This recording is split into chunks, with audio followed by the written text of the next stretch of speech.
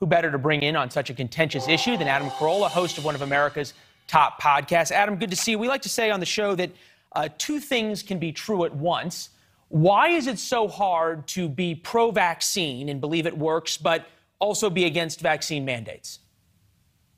Well, I think it's a pretty easy thing to do. And I think folks on the left have been doing this for a long time on many different subjects. If you think about pornography or prostitution or drug use, you know, they would go, Well, I don't want my daughter to become a prostitute, but it should be legal or decriminalized. And I don't want my son to be a heroin addict, but it should be. So it's nuanced, but we can wrap our brains around here's what we'd want, but here's the world we want to live in. And they go full ad hominem with you. So you go, look, I believe in vaccines. I'm vaccinated. I just don't like the government getting involved and forcing my kids to get vaccine vaccinated before they go to school and they go, "Oh, you're an anti-vaxxer." Well, again, there are many other social issues that they were able to take nuanced approaches to for many, many years yeah. leading up into this, and it's the same approach, I would argue.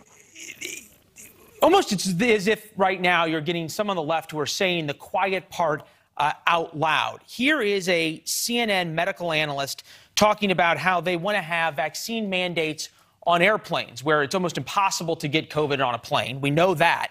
But now she's saying essentially this is more about punishment than protection. Take a listen.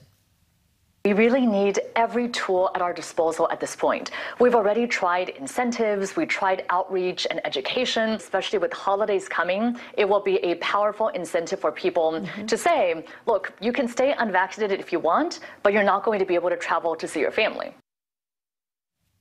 I guess they're admitting now this is more, much more about arm twisting and punishment than public health. And also, just listen to what that sounds like. I've been telling you what to do for a long time. I've told you this. I'm trying this. I decreed this, and you wouldn't do it. So now it's time to get tough. You think that's how this country works? You just make a decree, and if half the country doesn't listen to you, now it's time to punish those people? Do you want to live in that country?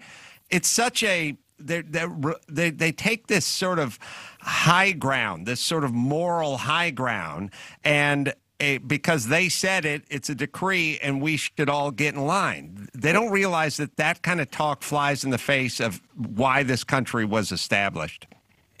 And it's interesting to listen to folks uh, talk about the the unvaccinated because if you listen to other cable networks, uh, some say the unvaccinated are heroes, others say the unvaccinated are tin hat wearing or red hat wearing conspiracy theorists.